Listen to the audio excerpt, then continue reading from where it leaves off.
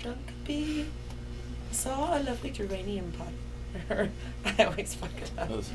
As I came home on Monday night, as drunk as drunk could be, I saw a horse outside the door where my old horse should be. So I calls the wife and I says to her, Could you kindly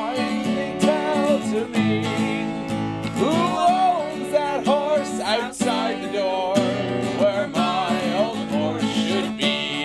Ah, you drunk, you drunk, you silly old fool, so drunk you cannot see. That's the lovely sow that me mother sent to me. well, many's a day I travelled a hundred miles or more, but a saddle on a sow, sure I never seen before.